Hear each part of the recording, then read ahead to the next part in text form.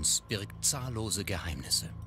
Unbekannte Flugobjekte werden seit Jahrzehnten von Regierungseinrichtungen auf der ganzen Welt untersucht.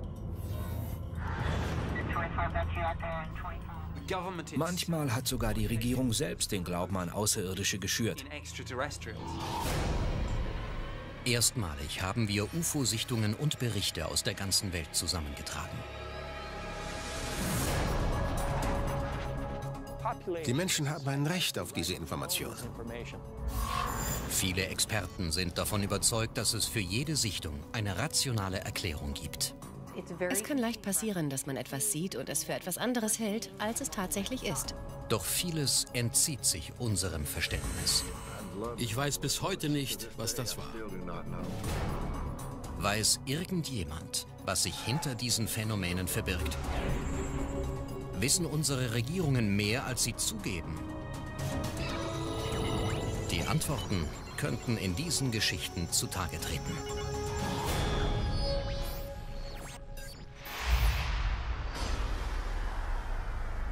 Ein Feuerball wird am Himmel gesichtet, in sechs nordamerikanischen Staaten.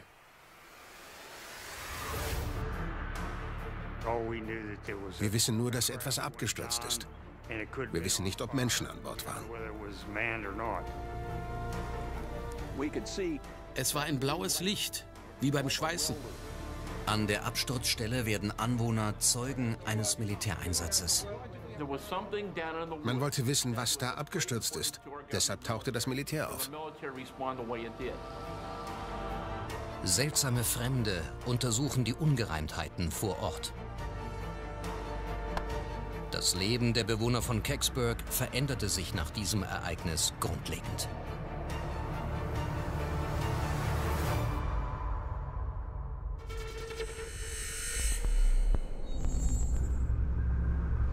Es ist fast 50 Jahre her, dass diese Gegend ins Zentrum einer bizarren Kontroverse rückte. Mittlerweile hat sich das Leben hier wieder normalisiert. Doch für einige Bewohner sind die Ereignisse dieser Nacht unvergessen.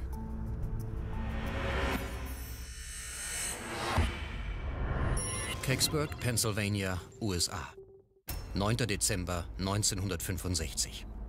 Nach Einbruch der Nacht beobachten mehrere Bewohner ein helles Licht am Himmel vorbeifliegen. Einige berichten davon, dass es die Richtung gewechselt hat.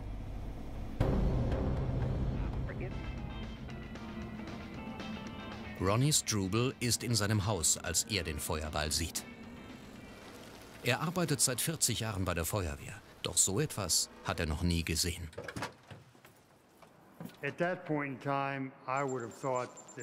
Zuerst habe ich gedacht, es wäre ein Leichtflugzeug, das vielleicht Feuer gefangen hat und abgestürzt ist.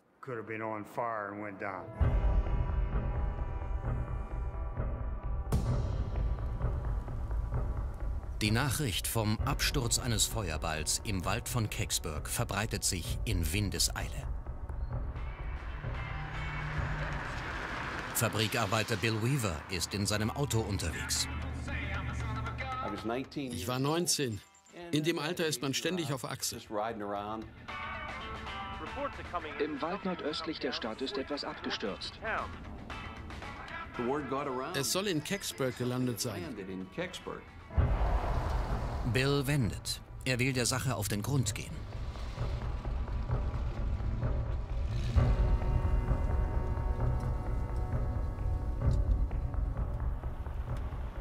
Selbst 50 Jahre später sind Bills Erinnerungen an diesen Abend noch allgegenwärtig.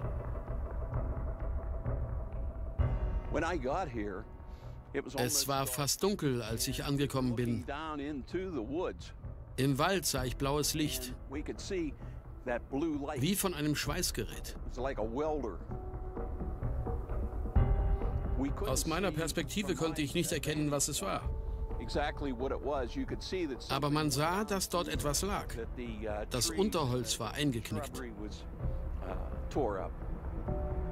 Schnell kommen die ersten Gerüchte auf.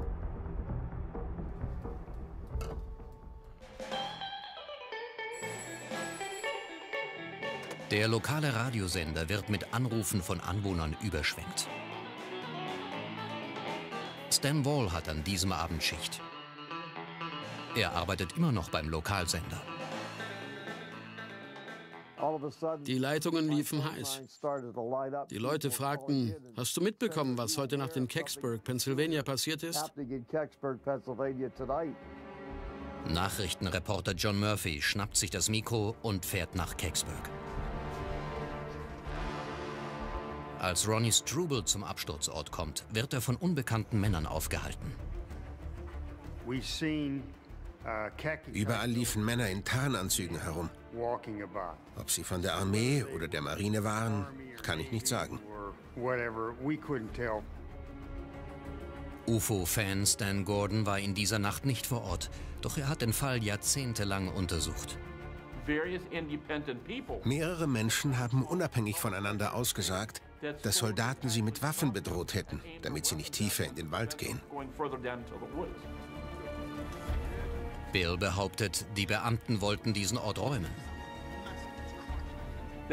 Die Bundespolizei tauchte auf und das Militär. Sie haben uns verjagt. Ich musste mein Auto wegfahren, sonst hätten sie es konfisziert.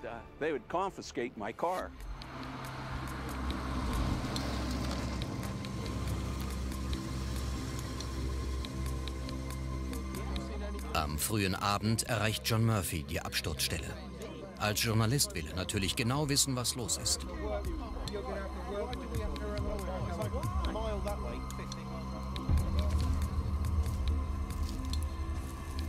Murphy starb 1969. Er hat seinem Kollegen Stan Wall von dieser Nacht erzählt. Er hat es gesehen, aber nur aus einiger Entfernung. Das Ding war kegelförmig. Unbestätigten Berichten zufolge hat Murphy versucht, Fotos zu machen. Er wurde von den Beamten gestoppt. John hat mal erwähnt, dass die Ausrüstung, die er in dieser Nacht dabei hatte, nicht mehr in seinem Besitz sei.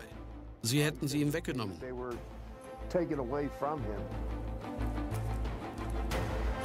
John Murphy interviewt Augenzeugen. Er ruft beim Radiosender an, will live auf Sendung gehen. Er sagte, Stan, du glaubst nicht, was hier passiert ist. Hier ist definitiv irgendetwas gelandet. Hier in Kecksburg, Pennsylvania. Das Misstrauen der Anwohner wird durch weitere Gerüchte geschürt. Ein Fahrzeug soll die Absturzstelle verlassen haben. Ich glaube, sie haben das Objekt abtransportiert. Es war mit einer Plane abgedeckt.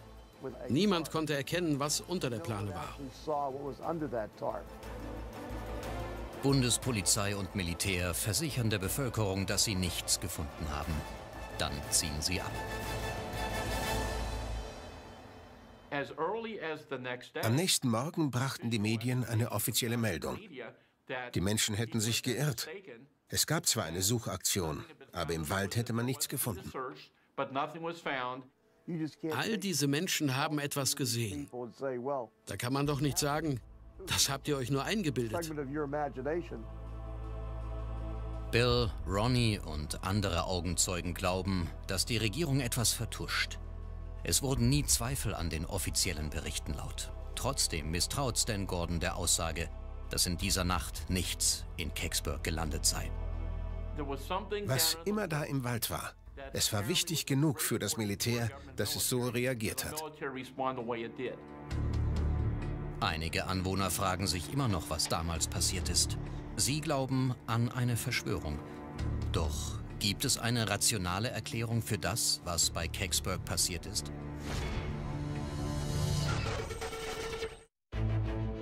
Ein Hobbyastronom sieht ein seltsames glühendes Licht.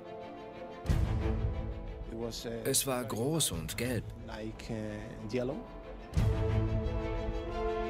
In derselben Nacht beobachten Menschen in ganz Spanien und Portugal das seltsame Spektakel. Es war unübersehbar.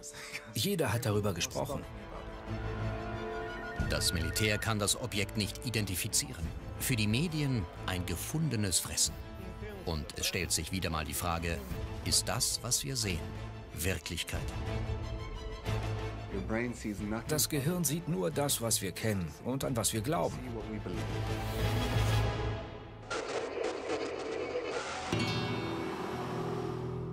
Eine Hauptstadt in Europa mit über drei Millionen Einwohnern.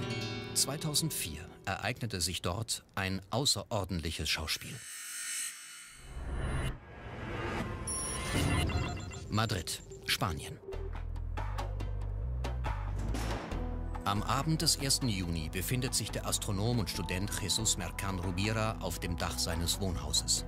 Er genießt das gute Wetter und die klare Sicht. Ich habe meine Fotoausrüstung aufgebaut, um erdnahe Asteroiden zu fotografieren. Als Jesus seine Kamera aufbaut, sieht er, wie etwas, das er anfangs für ein Flugzeug hält, von Norden nach Westen fliegt.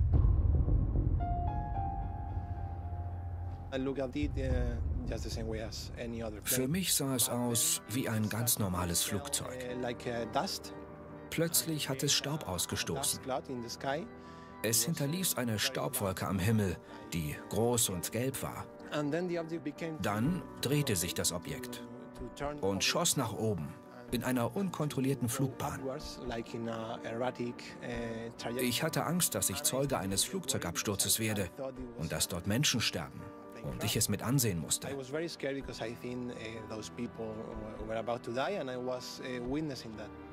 Dann scheint das Objekt zu explodieren. Ich hatte meine Kamera gerade aufgebaut und machte ein Foto. Ich konnte nur ein Foto machen. So sieht das Foto aus. Nachdem der Spuk vorbei war, habe ich einen Freund angerufen. Ich bat ihn zu recherchieren, ob es einen Flugzeugabsturz gegeben hatte. Aber wir fanden nichts. Es war, als ob nie etwas passiert wäre. Jesus ist nicht der Einzige, der das Objekt in dieser Nacht gesehen hat. Etwa 450 Kilometer entfernt, in Beja, Portugal, ist Jorge Fernandes auf der Jagd. Ich war bis 22 Uhr jagen. Als ich zu meinem Auto zurückging, bemerkte ich etwas über den Bergen. Ich sah Rauch und etwas, das zu Boden stürzte. Ich bekam Angst. Ich dachte, es wäre ein abstürzendes Flugzeug. Doch dann hielt es plötzlich an und schien auf der Stelle zu stehen. Dann sah ich ein helles Licht, wie bei einer Explosion. Und überall war Rauch.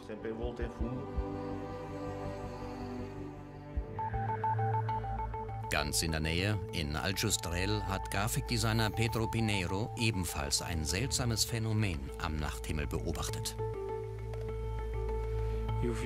Das Objekt war dreieckig.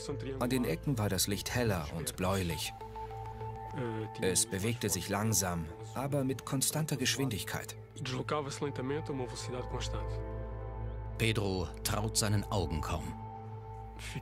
Ich bekam Angst. So etwas hatte ich noch nie gesehen. Ich habe meinen Bruder angerufen. Er und seine Freundin kamen sofort. Wir haben es zusammen beobachtet. Wir waren sprachlos. Pedro Pinheiro hatte keine Kamera dabei, aber der Grafikdesigner weiß, wie er das Ereignis festhalten kann. Diese Zeichnung habe ich am nächsten Tag gemacht. Es zeigt das, was ich am Himmel gesehen habe, als ich zum ersten Mal nach oben blickte.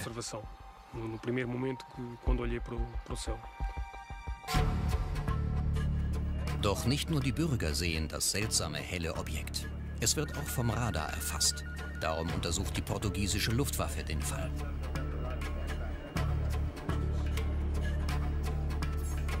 Francisco Murao Correa ist ein portugiesischer UFO-Forscher. Zwei Militärbasen haben das Objekt auf dem Radar erfasst. Und später tauchte das Objekt auch auf dem Flughafenradar von Porto auf.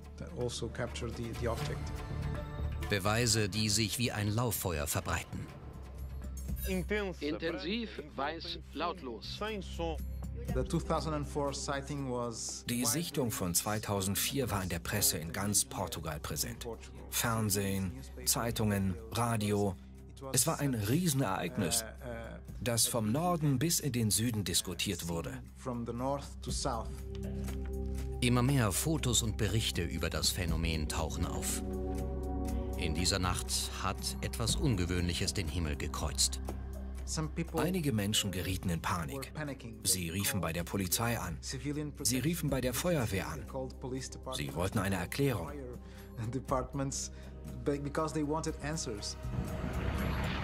Was haben diese Menschen gesehen?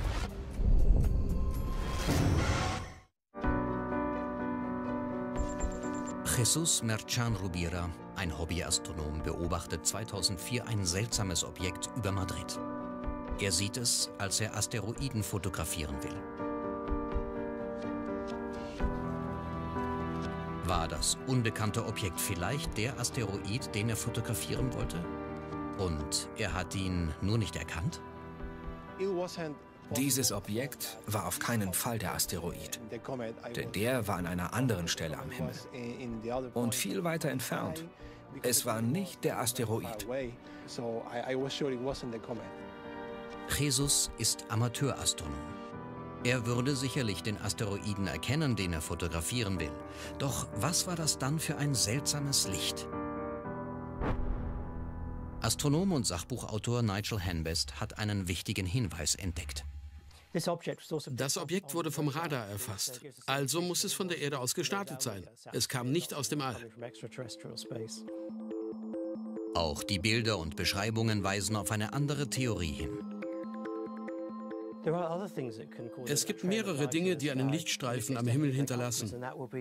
Ein vertikaler Lichtstreifen kann von einer Rakete stammen. Sie erzeugt beim Start einen Raketenstrahl, weil bei der Zündung Gase entweichen. War das Objekt am Himmel über Spanien und Portugal tatsächlich eine Rakete? Konkrete Beweise unterstützen diese Theorie. In der Nacht des 1. Juni haben die Franzosen tatsächlich eine M45-Rakete gezündet.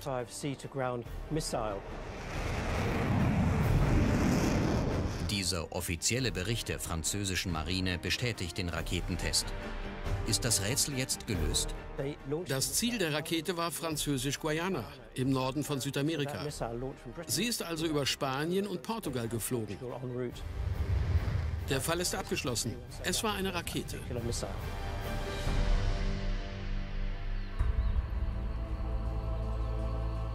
Die Beweise belegen einen französischen Raketentest.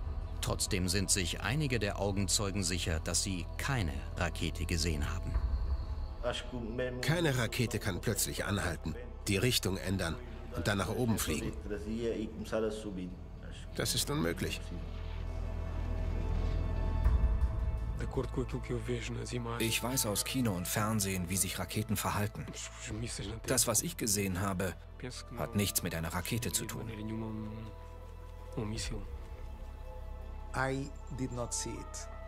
Ich habe nichts gesehen. Ich kenne nur die Augenzeugenberichte. Und die passen nicht zu einer Rakete. It's strange that it would be a missile. In diesem Fall gibt es eindeutige Beweise. Trotzdem sind nicht alle überzeugt. Ist es möglich, dass die Leute etwas anderes sahen, als sie zu sehen glaubten? Der Neurowissenschaftler Dr. Bo Lotto erforscht, wie Menschen die Welt wahrnehmen. Wenn wir unsere Augen öffnen, sehen wir niemals die Welt, wie sie wirklich ist. Denn wir nehmen die Welt über unsere Sinnesorgane wahr. Über unsere Augen, unsere Ohren, unsere Haut. Wir haben nur diese Informationen. Unser Gehirn greift auf unsere Erfahrungen zurück, um diesen Informationen eine Bedeutung zu geben. Und das formt unsere Anschauungen. Wir sehen, was wir glauben zu sehen. Manche Menschen denken also eher, dass sie ein UFO sehen, als andere. Man kann sich auch einbilden, etwas zu sehen. Wir kennen alle folgende Situation. Wir wollen ein bestimmtes Auto kaufen. Plötzlich sehen wir das Modell überall auf der Straße. Unser Gehirn macht uns glauben, dass es ganz viele davon gibt. Es sind aber genauso viele wie vorher. Sie fallen uns nur stärker auf.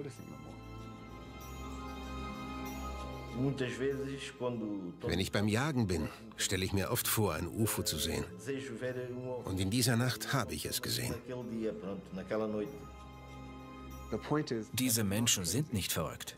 Ihr Gehirn erschafft die Bedeutung, die für sie Sinn macht. Die Menschen interpretieren die Situation so, dass sie für sie einen Sinn ergibt.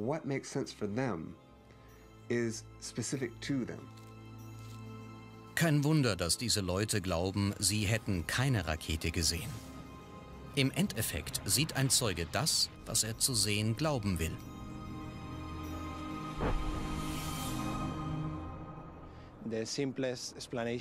Die einfachste Erklärung ist meist die richtige. Für mich ist der Fall klar. Mit der Theorie, dass es ein Raketentest war, kann ich mich anfreunden.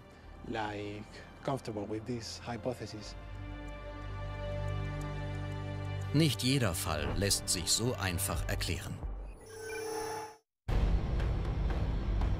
Kecksburg, Pennsylvania, 1965. Mehrere Menschen beobachten in Nordamerika ein fliegendes, helles Objekt am Abendhimmel. Laut Luftfahrtbehörde haben 23 Piloten den Feuerball gesehen. Die offizielle Erklärung lautet, ein Meteor sei in die Erdatmosphäre eingedrungen. Oft denken Zeugen fälschlicherweise, dass ein vorbeifliegender Meteor auf die Erde stürzt.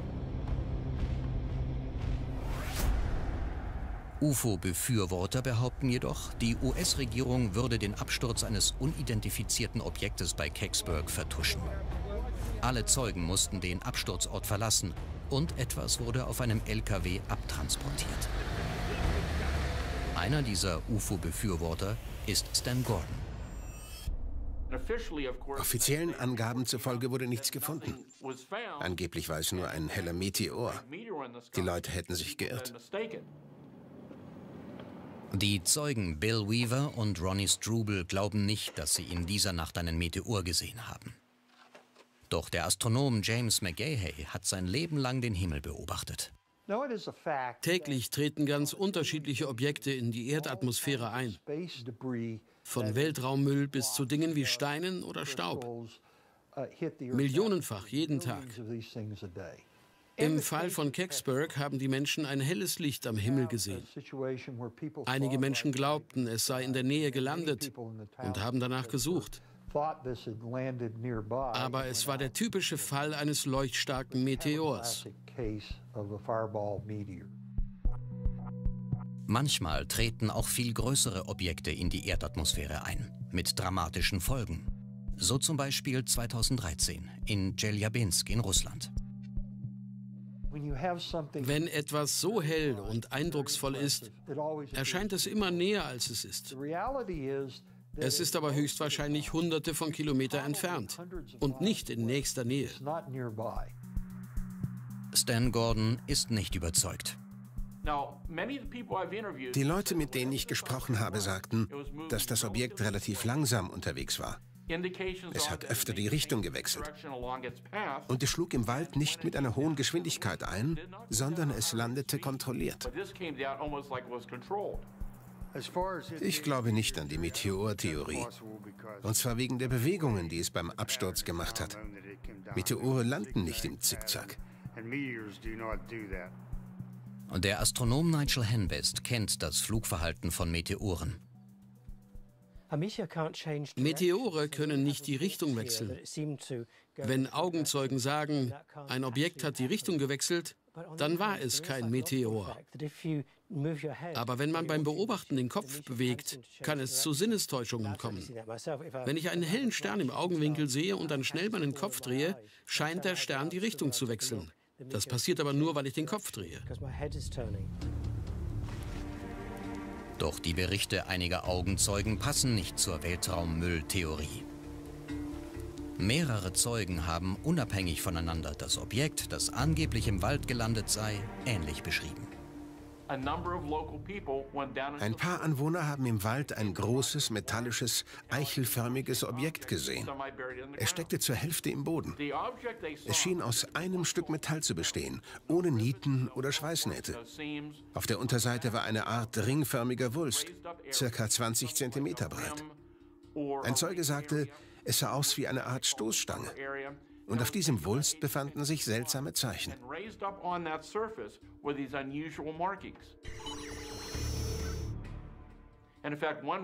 Ein Zeuge hat jahrelang recherchiert, um die Zeichen zuordnen zu können. Sie glichen am ehesten ägyptischen Hieroglyphen. Ein umstrittener lebensgroßer Nachbau des Objekts befindet sich vor dem Feuerwehrhaus in Kecksburg. An diesem Objekt scheiden sich die Geister.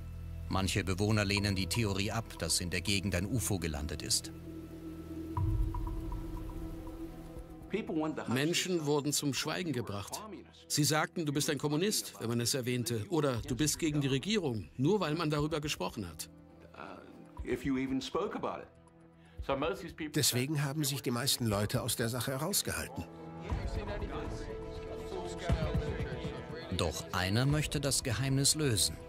Radioreporter John Murphy war einer der ersten am Absturzort. Stan Wall hat damals mit ihm beim Radiosender gearbeitet. John arbeitete an einer Radiodokumentation über das, was in Kecksburg passiert ist. Sie dauerte etwa eine Stunde. Er wollte sie im Lokalradio bringen. Zeugen behaupten, dass zwei Regierungsbeamte John Murphy wenige Tage vor Ausstrahlung in der Radiostation befragt hätten. Sie sind ins Nachrichtenstudio gegangen. Ich habe im Hauptstudio gearbeitet, das keine Verbindung zum Nachrichtenstudio hat. Die Beamten schlossen die Tür. John war mit ihnen allein.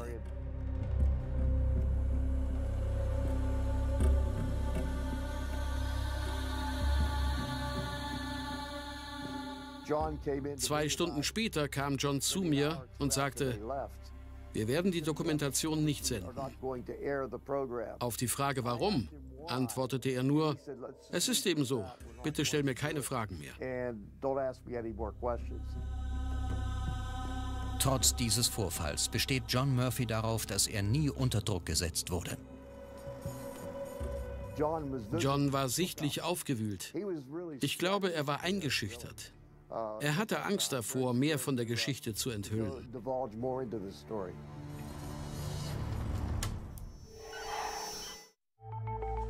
Mitte der 1980er Jahre taucht ein Bericht des Project Blue Book zum Fall Kecksburg auf.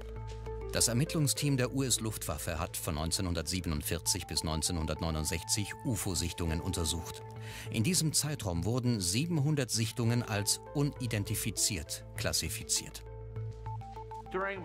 Bei meinen Recherchen zum Fall Kecksburg habe ich nur ein offizielles Dokument gefunden.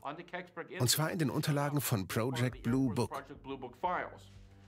Darunter war eine handschriftliche Notiz, die mir sofort ins Auge fiel. Ein Drei-Mann-Team sollte dorthin fahren, um ein Objekt einzusammeln. Stan Gordon sagt, dass mehr Männer involviert waren. Es waren mehr Leute dort als nur drei Soldaten von der Luftwaffe.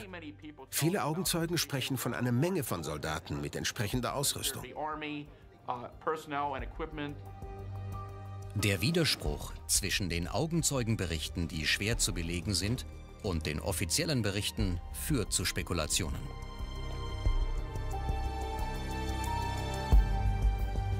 Kann in dieser Nacht etwas vom Himmel gefallen sein? Im erdnahen Orbit befinden sich tonnenweise von Menschen hergestellte Objekte. Wieso sollten sie nicht wieder in unsere Atmosphäre eintreten? Dr. Alice Gorman erforscht künstliche Objekte im All. Sie ist eine der ersten Allarchäologen. Im All gibt es unzählige unterschiedliche Objekte. Von winzig kleinen Teilchen bis zu 10 Tonnen schweren Satelliten, so groß wie Häuser und Busse.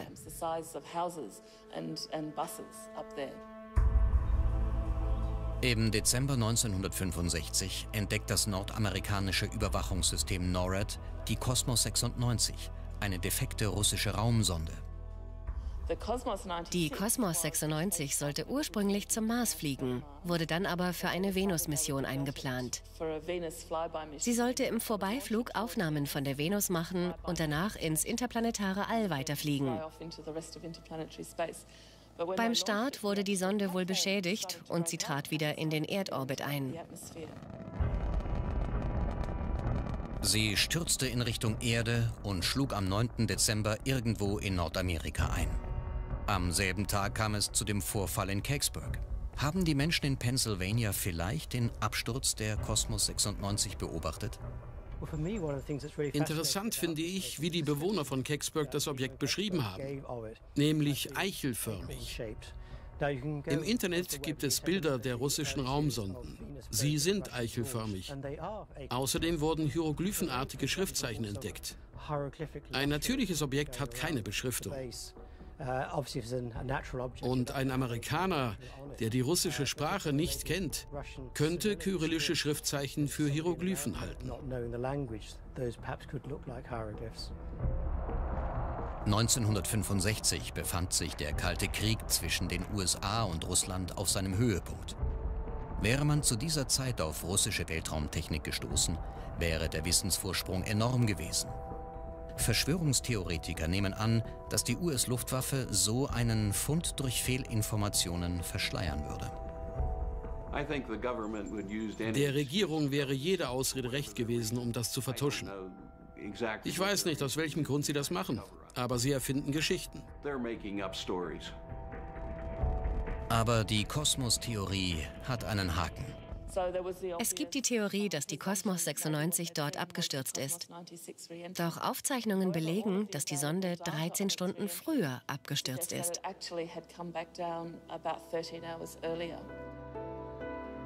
Aus diesen Aufzeichnungen geht auch hervor, dass die Sonde beim Absturz über Kanada auseinandergebrochen ist, hunderte Kilometer von Kecksburg entfernt.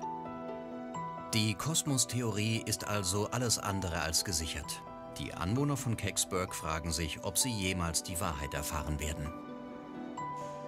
Sie wurden einfach zu lange belogen.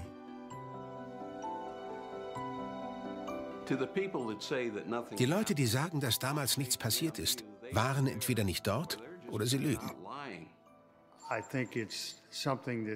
Es wird noch sehr lange dauern, bevor uns endlich jemand erzählt, was damals in Kecksburg wirklich passiert ist. Ob ich glaube, dass damals etwas passiert ist? Ja. Und die Anwohner haben ein Recht darauf zu erfahren, was es war. Sie haben sich das nicht eingebildet.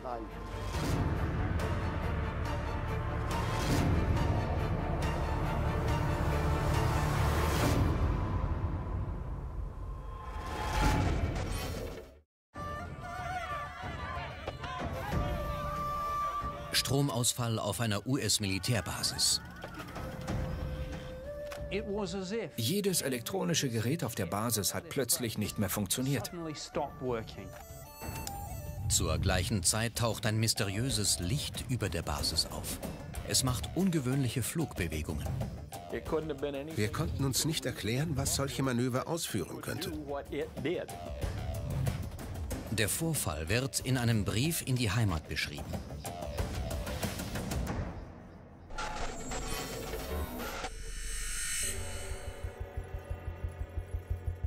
Heute ist diese Ecke Südostasiens ein Mekka für Touristen. Sonnenanbeter und Rucksacktouristen belagern Strände und Ressorts. Vor 50 Jahren kamen die Besucher aus einem ganz anderen Grund.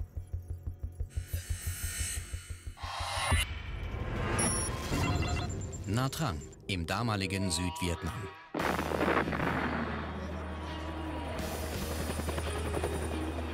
Juni 1966. Amerikanische Truppen kämpfen im Vietnamkrieg. Bis zum Ende des Jahres sind dort 400.000 Soldaten stationiert. Luftwaffenstützpunkt und Militärbasis Nha Trang ist Ausgangspunkt vieler US-Operationen. Auch der inzwischen pensionierte Sergeant Wayne Dalrymple ist dort stationiert. Ich war von 1966 bis 1967 in Vietnam. Ich war im Versorgungstrupp, bin Lastwagen gefahren. Wir sind von Nha Trang nach Cam Ranh B gefahren, um Nachschub auszuliefern. Wir haben die Basen an der Küste beliefert.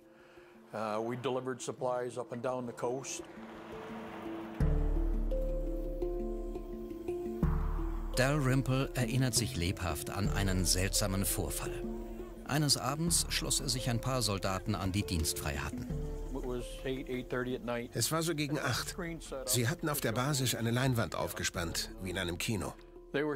Ich habe mit meinem Lastwagen direkt hinter der letzten Sitzreihe geparkt, wie im Autokino. Doch plötzlich gibt es eine außerplanmäßige Pause.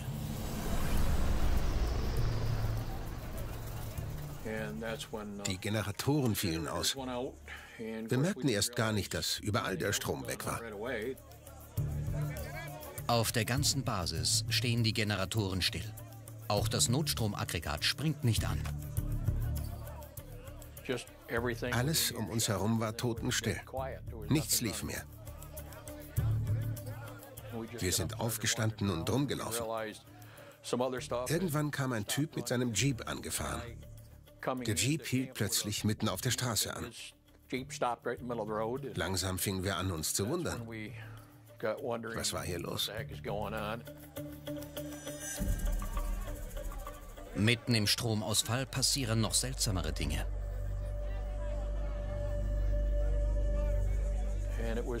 Plötzlich tauchte ein helles Licht am Himmel auf. Es kam von Westen, flog direkt auf uns zu und stoppte auf halbem Weg. Es hielt einfach an. Dann flog es nach oben und wieder nach unten. Das macht es ein paar Mal. Dann flog es vor und zurück. Es sah aus wie eine weiße Sonne. Es hat die ganze Gegend erleuchtet, taghell. Vorher war es stockdunkel. Und dann ist es weggeflogen. In einem 45-Grad-Winkel. Einfach weg. Danach ging der Strom wieder an.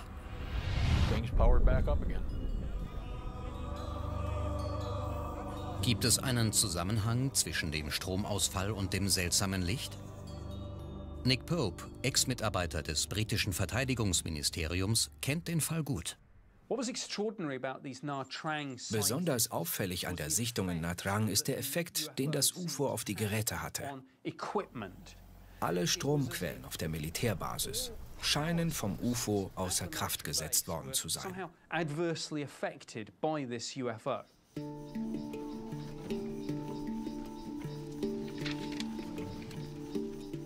Eine wichtige Aufzeichnung stammt von Wayne Dalrymple. Ich habe meiner Mutter ein paar Tage später einen Brief geschrieben. Man ist ja froh, wenn man mal was anderes berichten kann. Also habe ich ihr davon erzählt. Uh,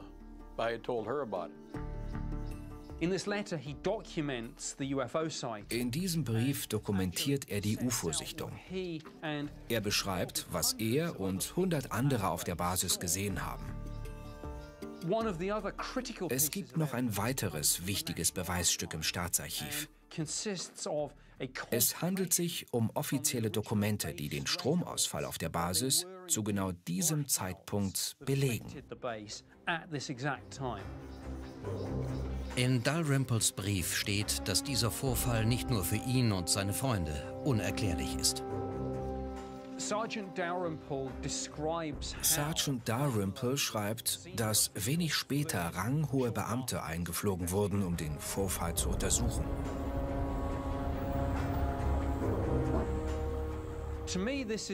Das ist das Standardprozedere. In solchen Fällen werden sofort Untersuchungen anberaumt. Nicht unbedingt wegen des UFOs, aber wegen des Stromausfalls. Wir haben überlegt, was das wohl gewesen ist. Aber wir konnten uns nicht erklären, was solche Manöver ausführen könnte. Allerdings wird damals nicht untersucht, ob es einen Zusammenhang zwischen dem Stromausfall und dem Licht gibt. Dieser Fall ist nicht im Project Blue Book vermerkt, in dem Berichte über UFO-Sichtungen in Amerika ausgewertet werden.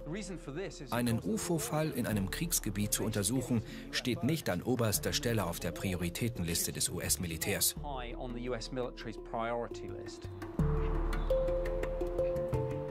Jetzt, fast 50 Jahre später, rollen Spezialisten den Fall wieder auf, um ihn endlich zu lösen. Carolyn Crawford, Professorin für Astronomie an der Universität von Cambridge, hat sich eingehend mit dem seltsamen Licht am Himmel beschäftigt.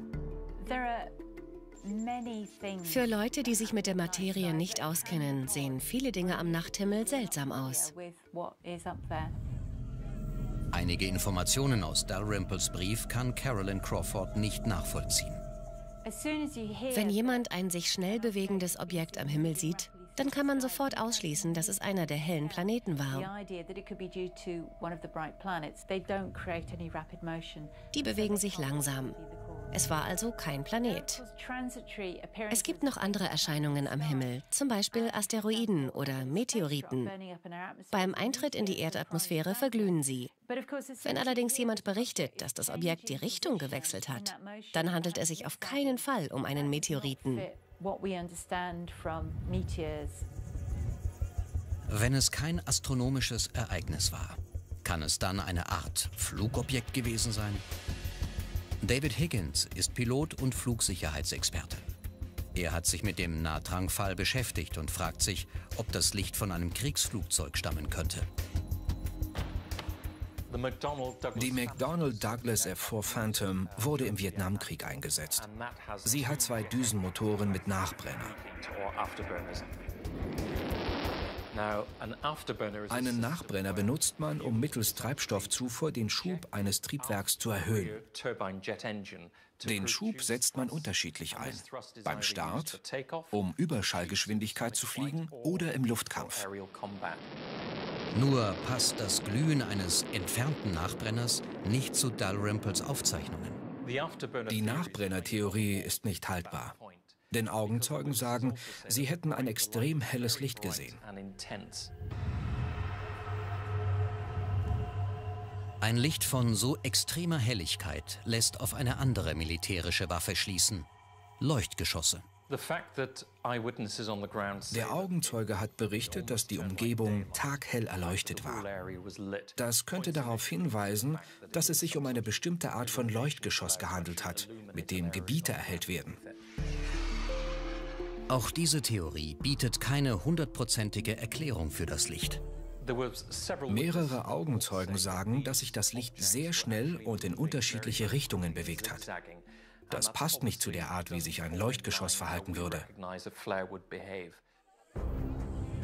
Keine Lösung scheint die richtige zu sein. Und niemand hat eine Erklärung für den Stromausfall.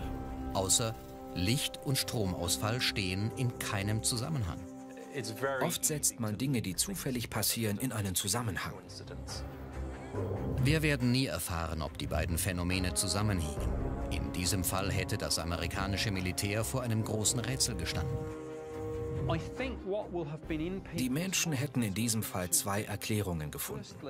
Es hätte eine einfache Störung der elektrischen Geräte sein können deren Ursache man finden muss, um sie zu beheben. Die andere Erklärung ist nicht ganz so sauber. Es könnte nämlich auch eine Art Waffe gewesen sein. Es gibt jedoch keine Aufzeichnungen von einer Waffe, die so funktioniert, wie es Dalrymple beschrieben hat. Bis heute bleibt der Natrang-Fall ungeklärt. Wayne Dalrymple muss akzeptieren, dass das, was er in dieser Nacht gesehen hat, ein Rätsel bleibt. Ich habe von keinen weiteren derartigen Fällen in Vietnam gehört. Das heißt aber nicht, dass es keine gab.